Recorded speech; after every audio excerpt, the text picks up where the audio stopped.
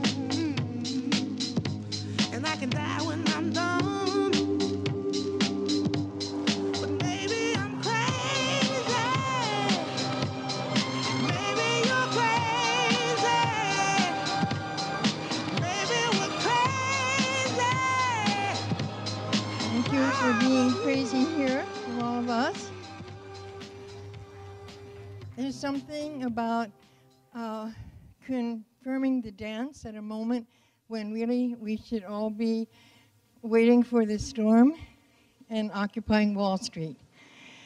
And having done that through the Vietnam War, this is both uh, inspiring, encouraging, and quite terrifying because the forms, hello you, I didn't know you could sing birthday like that.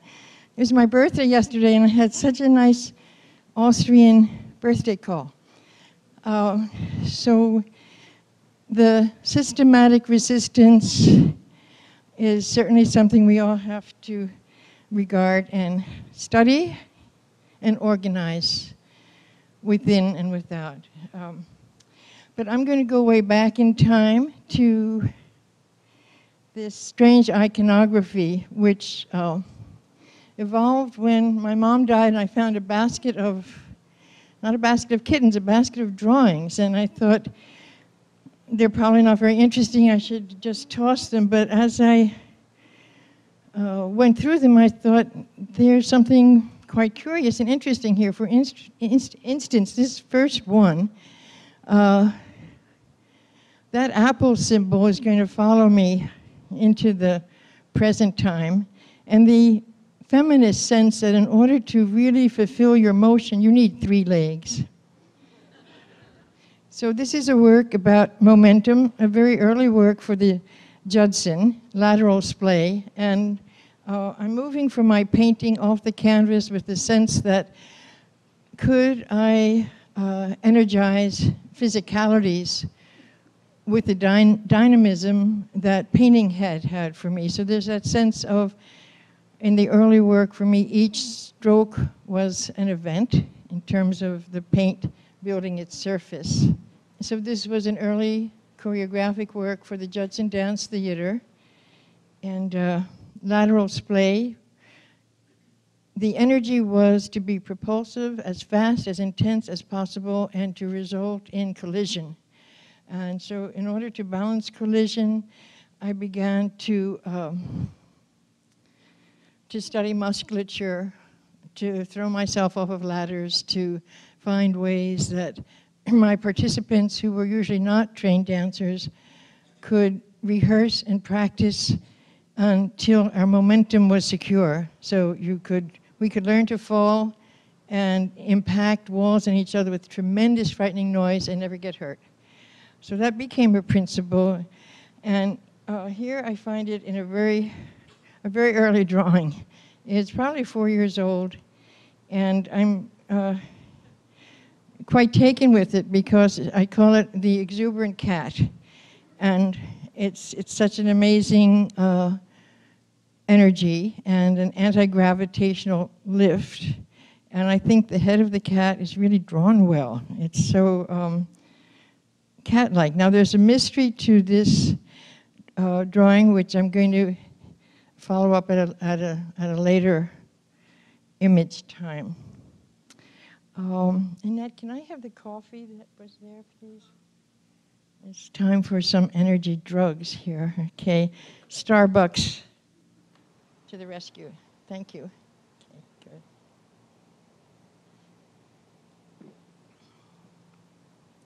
I've been watching uh, the comedian, uh, what's her name, Cho? Margaret, Margaret, yeah, and she really takes time. She's very interesting. She'll just stand there and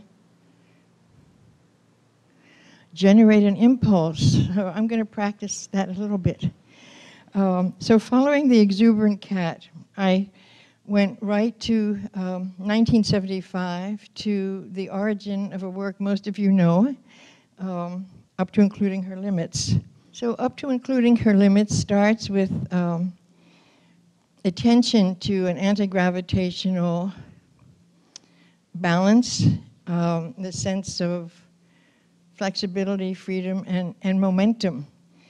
And of course, it's had uh, a lot of difficulty in its origin because the elements were um, constructed of a nude woman on a rope with a harness had to be part of S&M. So that was a struggle to reintegrate my intentions.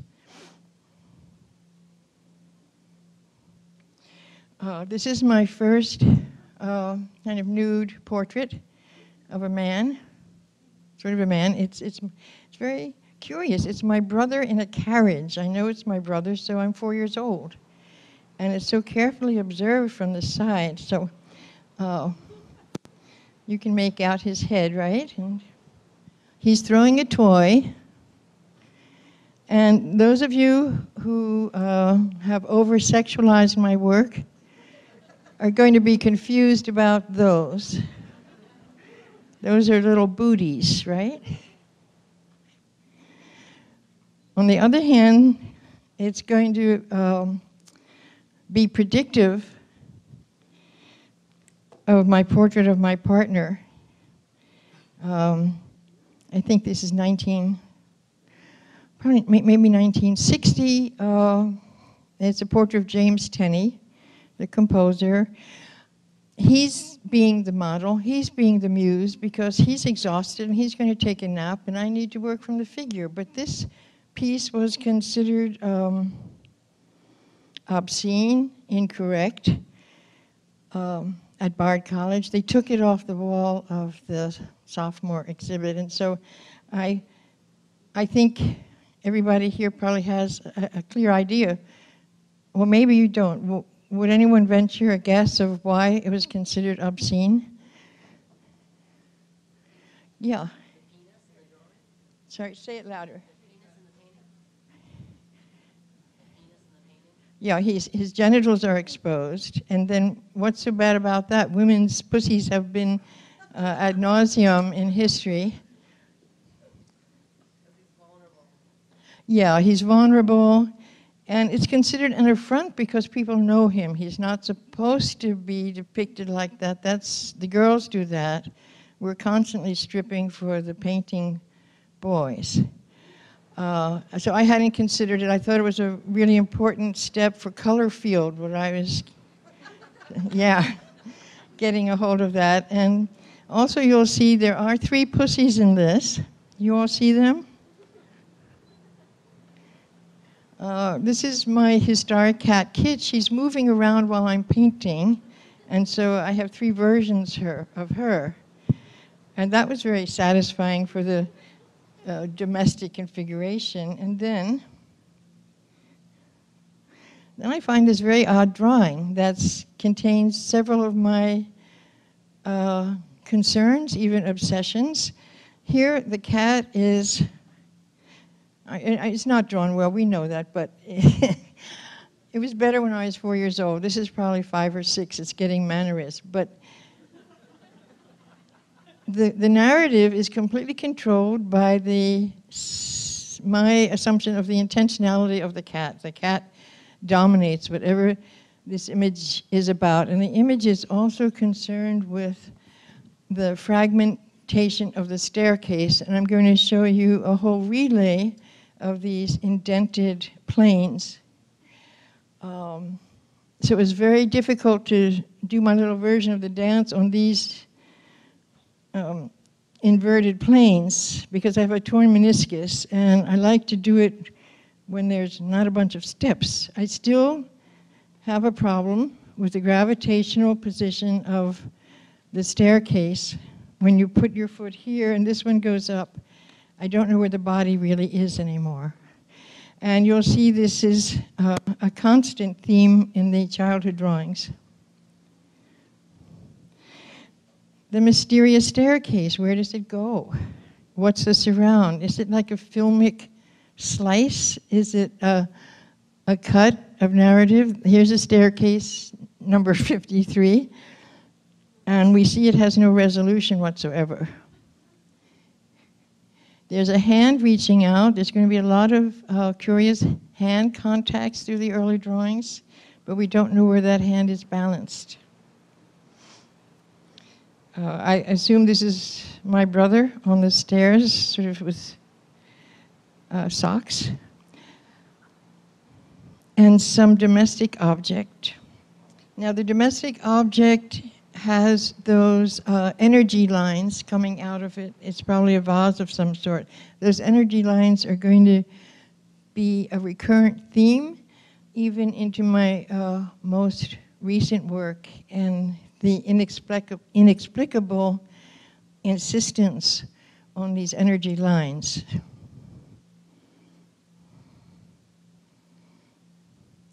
So in um, in the 60s, I'm working with collage. I'm in at the University of Illinois, and it's a painting that has in it an ordinary object. It's the first work with an ordinary object, and it's uh, here's a vase of some sort, huge, and then the ordinary object here is a broken red cup that belonged to my grandmother that seemed important. But I couldn't solve the structure of this work until I put on the right, this vertical that looks like uh, indented stairs, that piece of wood that you can see, that solved the structure of the work. And I had carried this piece of wood around, oh, maybe for eight or nine years, wherever I went. I found it in the street, probably New York City at some point, and it just went with me. This is the most mysterious drawing of all, and uh, I like to look at it with uh, an audience and think about it. What, what is it? And I couldn't find any connection to older work or more recent work, which, which is the pleasure of this iconography, until I began to see the gloves and the hands.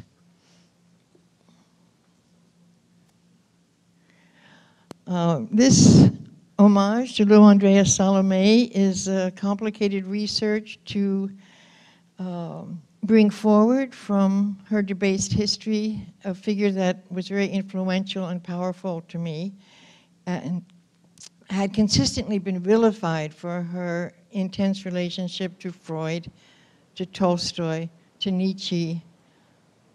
So I'm using photographs of her and all these gloves, and then I started to see these fragmented hands and something about uh, the linear centrality.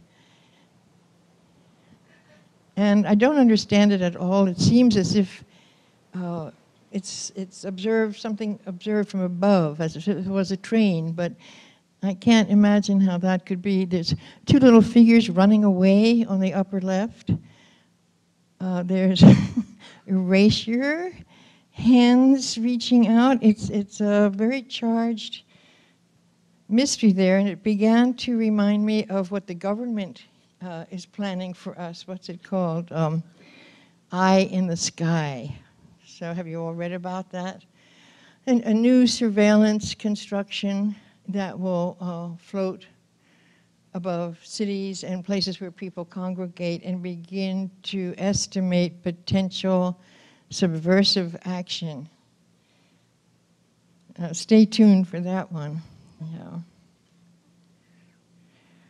And, and briefly, towards the middle of the 60s, moving towards performative ideas with uh, failed canvases were turned into sculptures.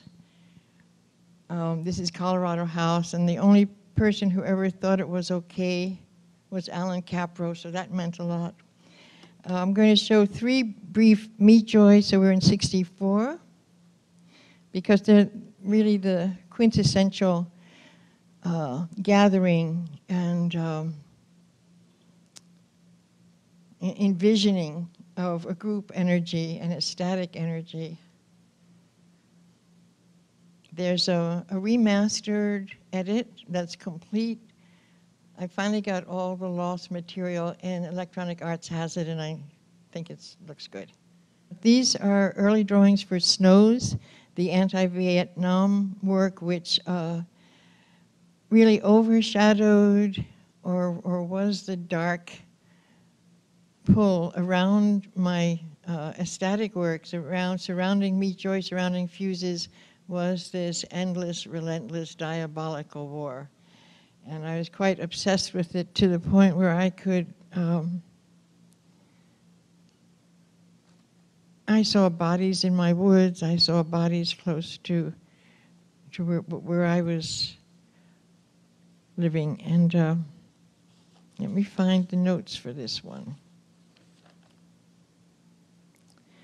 So the energy against the Vietnam War was so intense and conflicted, but there was um, a theater owner who turned over the Martinique Theater on 34th Street to me because he knew I wanted to do um, an installation of kinetic theater work against the war, and he let that theater be dark for three weeks while I built this uh, in crazy kind of installation. I wanted to have huge magnifying lenses, and the closest I could get to them for projecting film would be uh, filling colored bags of water and uh, making um, a grid structure. It was very dangerous because all the electronics were in a circle and the electronics were projection systems, sound, Vietnam atrocity images, and they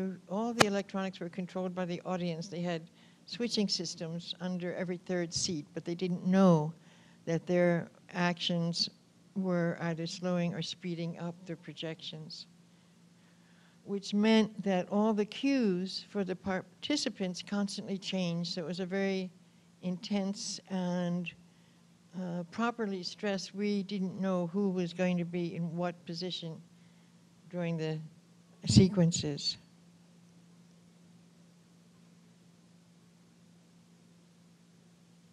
It's 1965, so it's early, and my film Viet Flakes is made from these uh, suppressed atrocity images.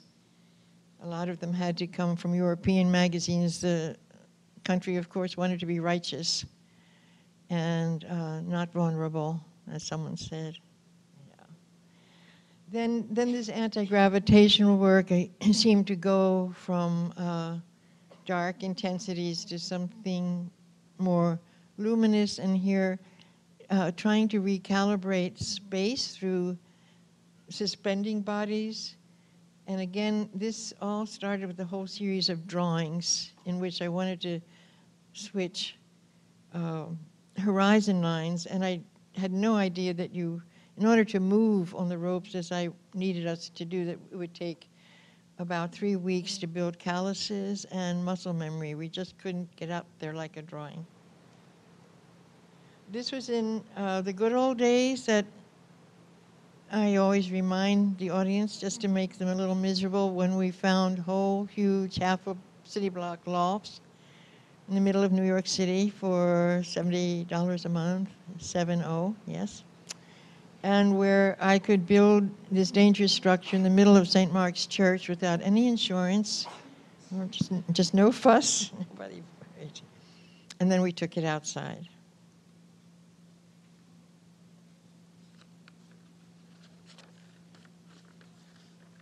So this is going to take uh, us back to up to including her limits.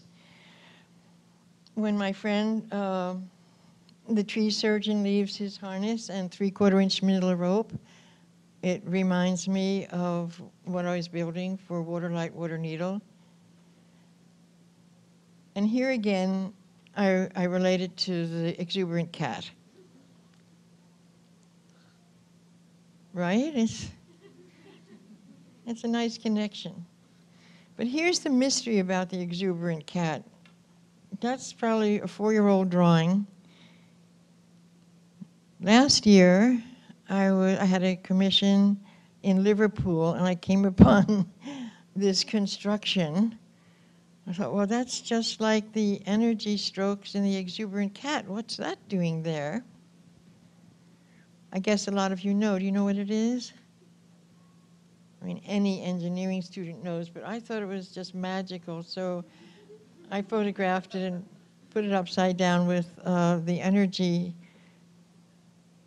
strokes coming out of the cat. Well, it's rebar, and that's pretty interesting. Rebar is um, a layer of thin steel elements between layers of poured concrete. It helps the poured concrete layers uh, become attached. Did anybody know that already? Yeah. well, then you wouldn't you wouldn't have had the magic moment of what could this be.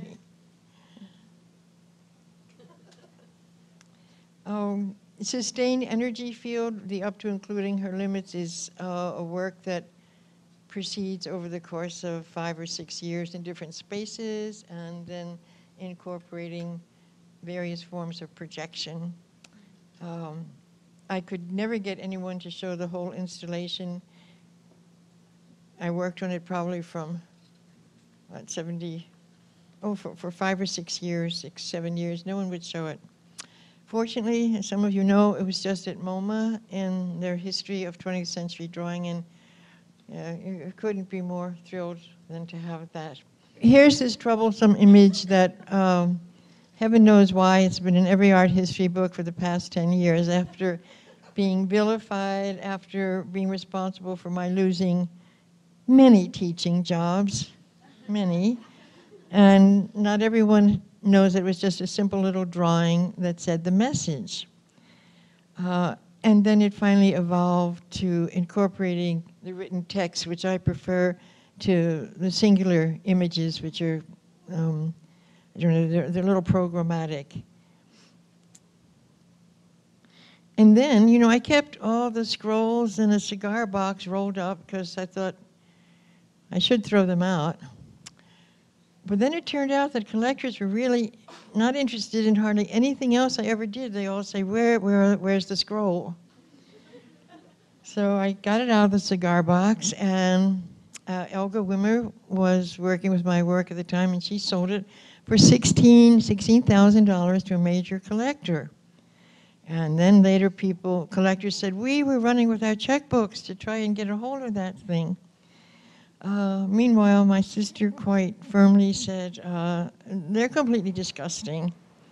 Um, but then they began to develop an iconographic reference for me. And, and that was very gratifying. So we've got a, a skinny Giacometti on one side, and um, a Brancusi, an infinite inverted form, and of course, uh, look, a staircase. Here it is again, um, and, and, and, and the fractured plane.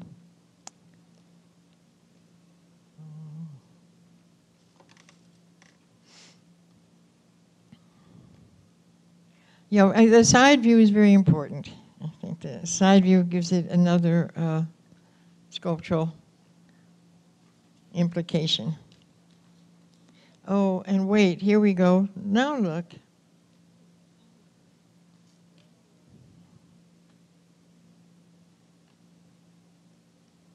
In the 80s, I was studying uh, Palestinian culture and the systematic destruction, attack, um,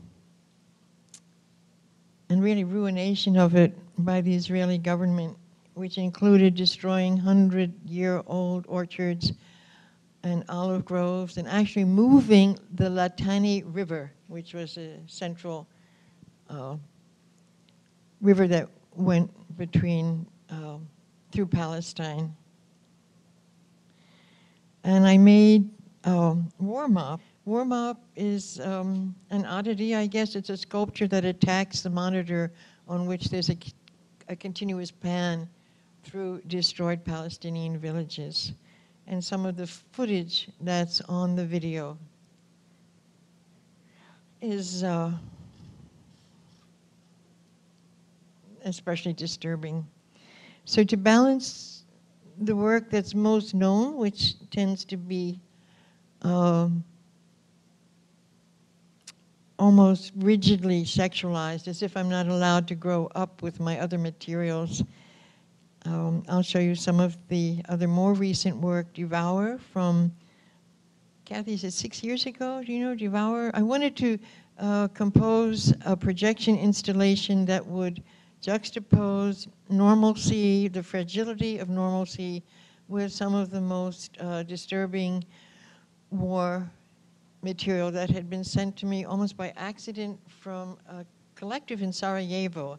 Just turned up in my mailbox, and it was um, astonishing interviews with um, murderers, victims, and the collective itself that had a, a, a run-on statement on the film that said, um, this might be our last camera, this might be our last film. We are out of food. We are out of water. We want this to reach you.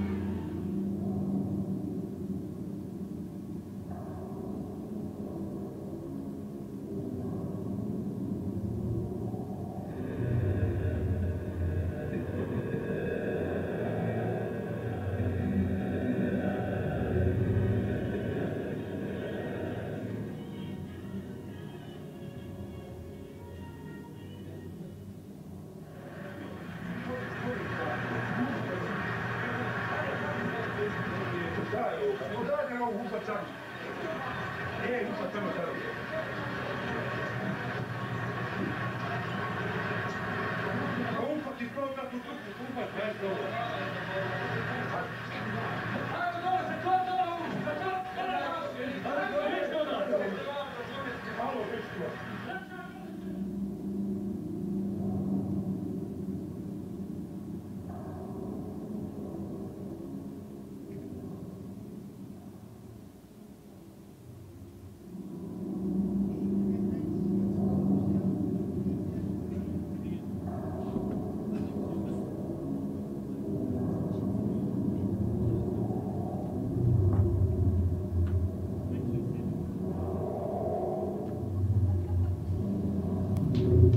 So that was uh, just a really engrossing, tough edit. The actually the first imagery I started with was with the spaghetti.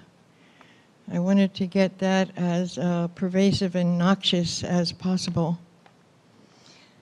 So I'm just going to show uh, two more works, and then I'll be interested in any of the comments from from you, from the audience.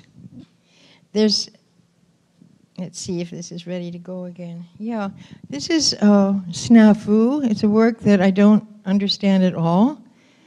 Um, and I think that's fair because my students always expect that there's something uh, programmatic or at least uh, conceptually set. set. Um, it's an anti-gravitational work in some sense that these little uh, baptism coats, it's really echoey, huh? No, it's not, just to me? Okay. Um, they're covered in plaster and other materials, and then they're motorized. Each coat has its own motor with its own computer chip, so their rhythms are, are never the same. I saw, uh, somehow I saw, that I needed a vertical horse race superimposed on these um, white ghost jackets as they were moving up and down in space. And through another remarkable coincidence, I went to, um, to Nova Scotia for one of Jim Tenney's last concerts where he was playing the Ives Sonata. Uh, and I just went, and uh, nobody knew I was there, and I got a room and put the TV on, and there was the horse race I needed, and my camera, the battery was charged, and it was in focus, and, uh, and that's a set of miracles, right? So I'm going to show you the uh, the video of Snafu. It's very short, and you might have some thoughts as to what it's about.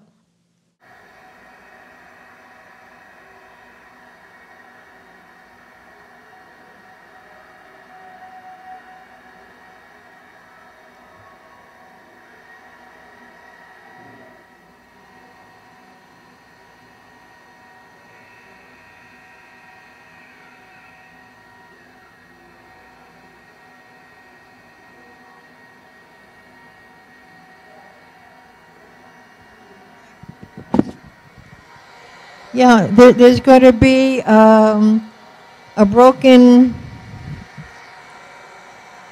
flange coming in also.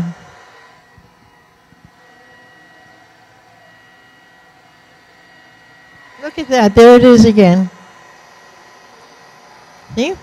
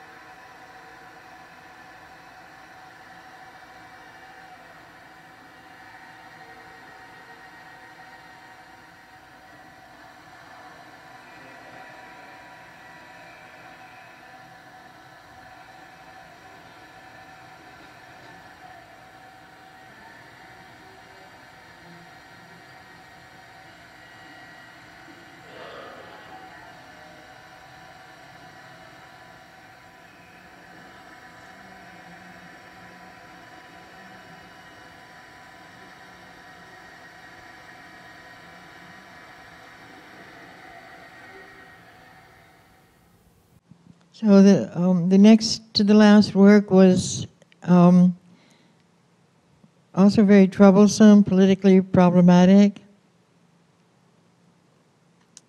Terminal velocity um, is a sequence that really related to uh, my erotic film fuses and to my in memoriam film Mortal Coils for Dead Friends. I wanted to um, not especially make it work, but to get as close to the bodies and the images as I could. And since they, I could get them from newspapers for a time, and then you can enlarge the uh, Ben-Day dot. Of course, from video, the pixel breaks up right away, so that was useless. So, how large do they look? Yeah, that's about the, that's close to the actual scale. There were many issues for me. One being the physiological fact that everyone is falling so differently. In my mind, it was somehow uh, the image of a, the way cats are supposed to fall and turn around with their feet front. There's uh, the gravitational pull is completely unique for each body. Some have been, some of the personages here jumped and others were blown out by the force of the fire behind them. The strange thing began to happen was the resemblance of the building verticals to an, an inverted American flag. That began to seem uh, extremely sinister and telling. It was first exhibited at Elga Wimmer's gallery shortly after 9 11, and many people who viewed it went nuts. And I related to what we said about the um, vulnerability, the exposed image of James Tenney. Some of the comments were, You have no right to uh, look at people look at these men. It's this group is exclusively men. Um, when they're dying, when they're victims, when they don't have the American sense of uh, self-righteous survival, and issues around that. So I had to write a statement with it saying that uh, what my feeling was that it was a work for in memoriam. And Elga, you remember they wrote horrible things around the gallery walls and tried to deface the piece, and uh, that was probably more shocking than the kinds of censorship that I've had with um, the erotic works.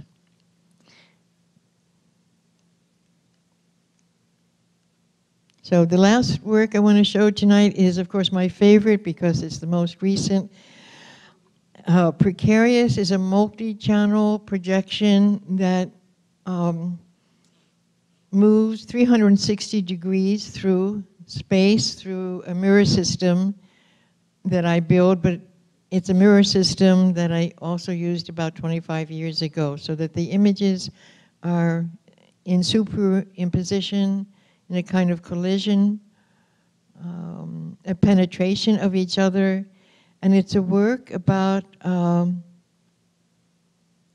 being dancing as uh, entrapment. The orange figures on your left are the prisoners from the Philippines who, uh, whose discipline is to dance uh, in choreographed um, means to popular music, and they're very energetic. It's exciting. It's terrific.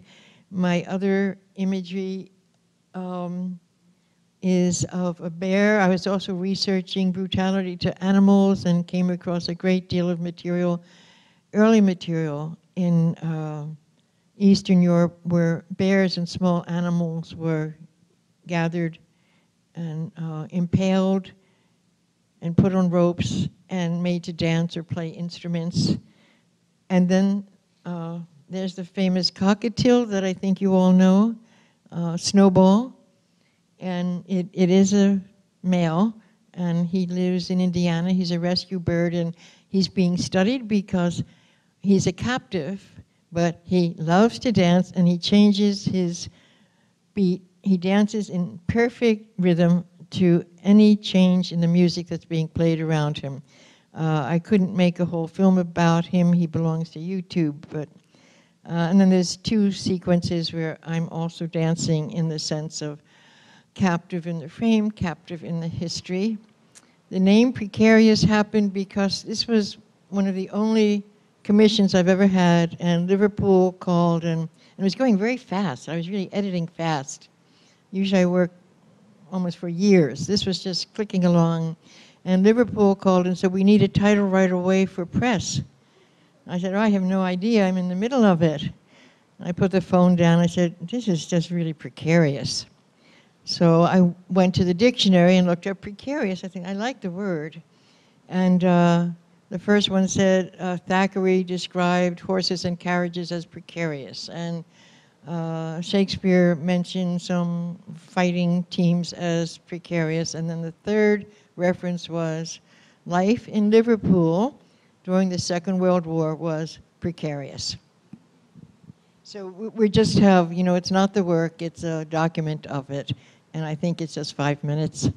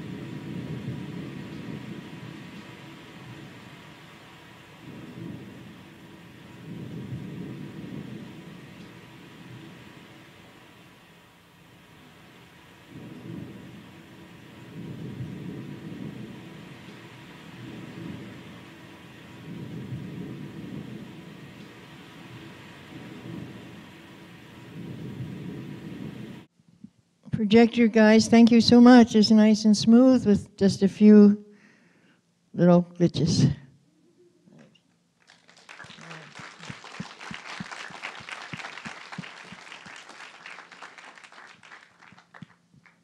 Well, I'm happy to see so many friends here. Thank you, thank you for getting here.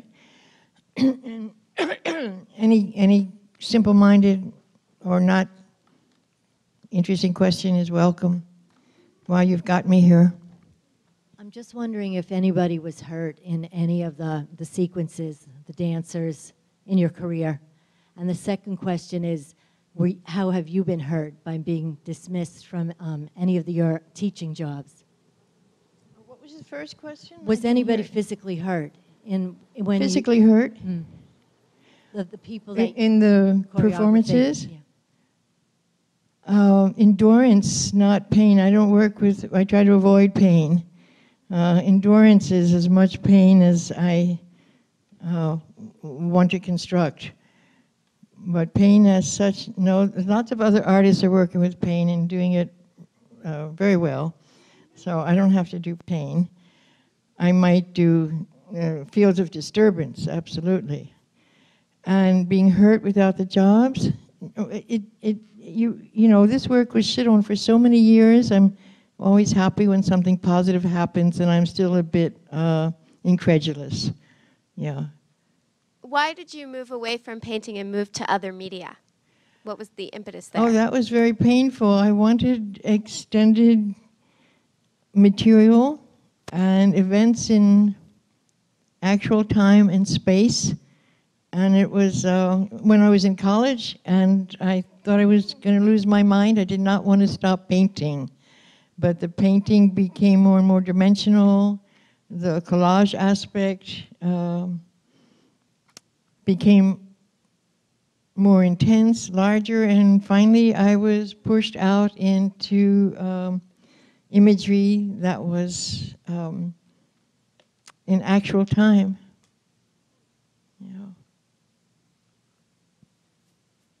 It happened for a lot of people. You know, certainly uh, the most interesting artists I met when I came to New York were Oldenburg and Dine and Whitman, and they were all painters working with extended materials and incredible colors and uh, close impacted physicalities. The thing that's different is that when they went back to sculpture and painting and installation, they weren't um, trapped by having once been naked or worked with um, physicality. The culture allowed them a dimensionality that it's been very resistant. And so I've been saying lately my use of the body interfered with my body of work. It's still the same. They only, you know, when, when, you know, you have to be very happy that some imagery enters the culture. But it's been pretty stuck on two same things over and over and over again. Carolee, do you have a ritual that you perform before you speak? Um, do you have a ritual that you do before you perform or speak? Do do I have a ritual before I perform or speak? I go into a numb place. I'm like somewhere else. And also, I get very sick the day before. I just can't move. I think I'm just coming down with something that must be death. Uh, but then I see other friends of mine have that. Joan Jonas, for one, you know, I'll see her in the street and say, "Joan, hi, how are you?" And she gives me that look like, "Oh, hello, Carolee." You know, it's, oh, it's okay. All right, when you're out of there, call me. Yeah. Do do any other people in this audience do that? Yes, here's one. Okay. Shake your head. Yes. and there's one I know, Larry. Yes, of course. Yeah. Yeah, it's weird. He says it's like going through a curtain of fire to get to the audience. And you're saying yes? You too? I can't hear her, and I'm sure I would like to run with the microphone. Anyway. This is Anne Waldman. a poet who inspires us and seems to have fearless speaking courage. So, Well, just there's an all before performing, before meeting, you know, going out to meet the public, and there can be this sort of meditative state, but it's very, um, you know, just arising to that occasion. You go through a whole collapse of your ego. You're just this hairy bag of water, and what are you doing, you know, recrystallizing for an audience? But then, and voice, you know, sometimes I think I'm losing my voice, and then it, of course, miraculously arises. No, it's heartening to hear your, you know, that sense of it. It, it is a kind of ritual, sort of journey. yeah, it's kind of miraculous. So you, you don't know where, I don't know where it comes from when it's okay. I sure know when it's not working. That's a horrible place to be. We're just not coherent, or, or that. I, for me, it's in the back here somewhere. It, it starts working itself. Yeah, it's not here. Somebody up there? Yeah. Hi. Uh, did you ever think more about, as an adult, why you made the staircase drawings as a child? Um, well, I'm looking at this staircase now. What's your thought about it? Since what, where are you with the question? Tell me something. Well, I, I find I, I think thought they were beautiful, uh, a- and uh, it takes you somewhere, or it brings you to another place. So it's a it's a way of connecting one thing to another. Well, as also the French have that wonderful saying. Does anybody know it? The staircase to the place where you forgot what you were really meaning to say. It's a wonderful French expression. L'escalier de. Who knows it? Oh, here. Take the microphone. It'd nice to hear it. It's l'esprit de l'escalier. The L'esprit spirit. d'escalier, the spirit of the staircase. Um, no, I haven't figured it out, but the similarity to the fold in interior scroll and the indentation in uh, the piece of wood that was so significant to me. And then I just saw those indentations in snafu. I just saw them yesterday for the first time. I don't know what they are, but they're they're in. Did anybody see them? They're black, and it's a pattern. Yeah, so it's satisfying for me.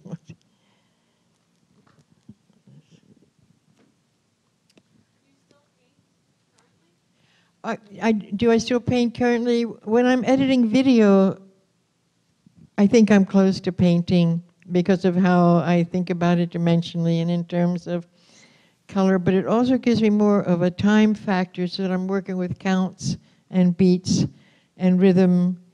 And once I get to that aspect of the work, I have to uh, say that I lived with the composer for the most crucial early 10, 12 years of my life. And so there was that constant interplay and um, juxtaposition of his working with Ives,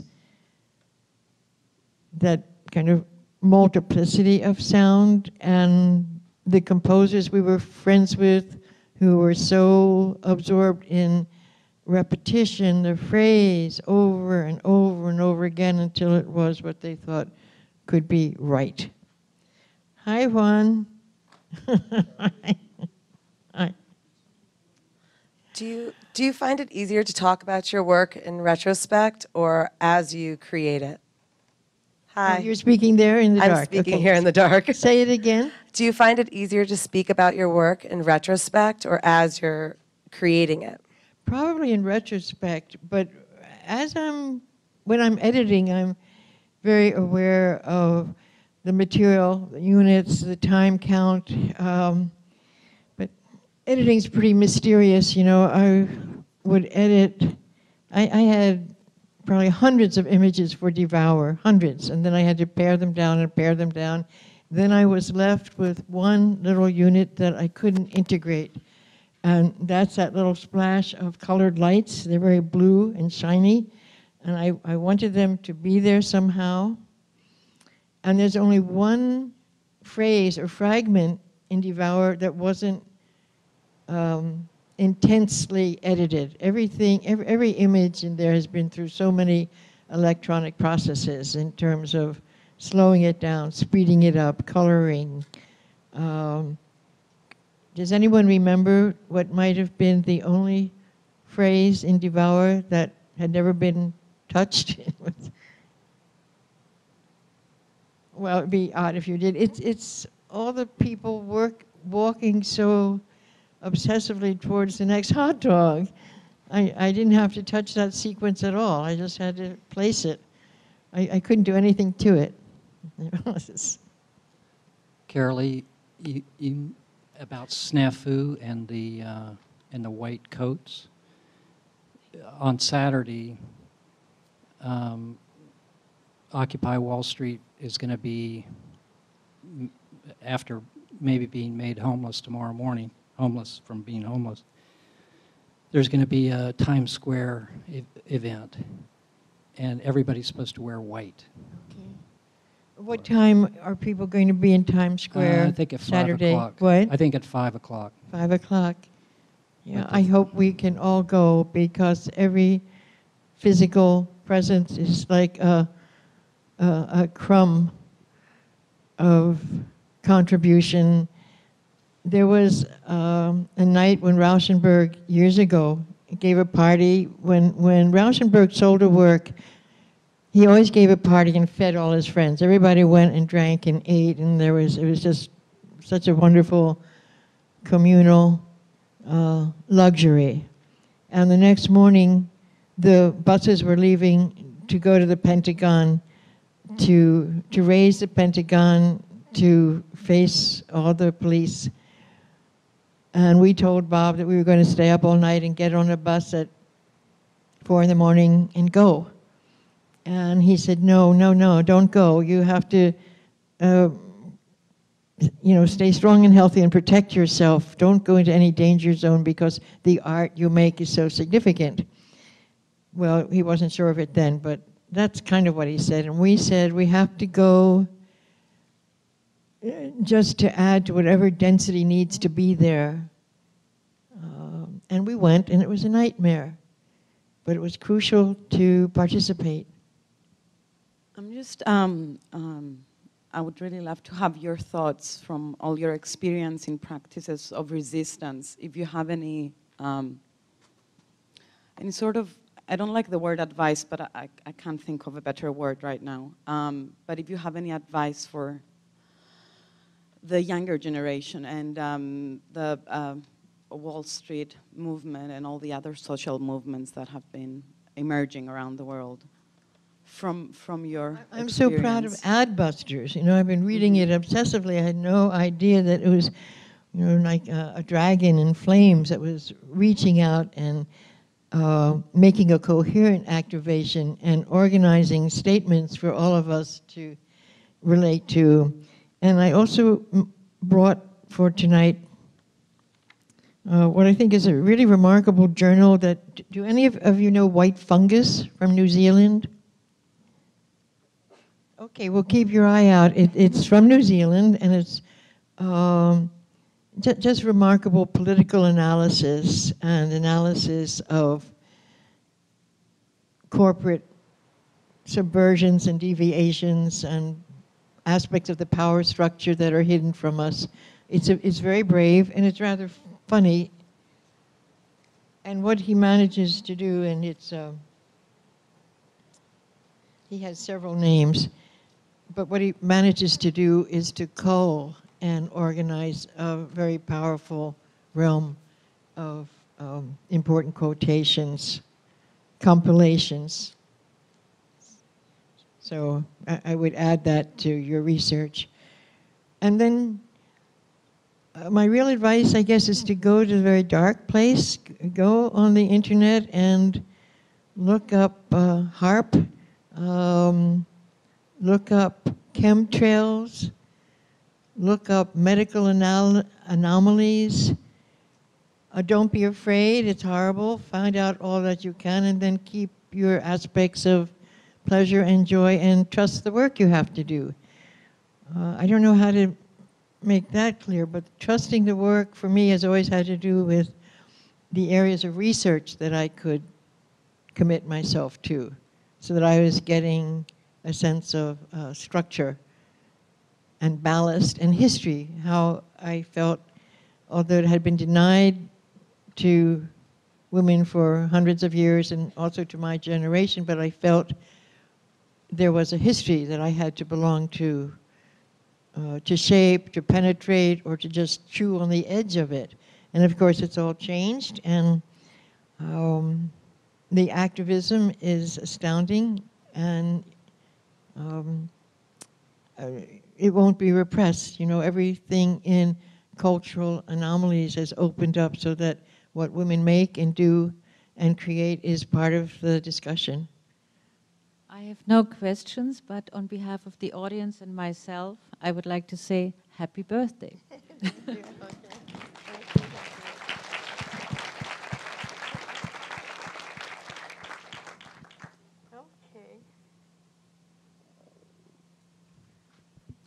Thank you, Carolee. Thank you, everybody. Great to be here.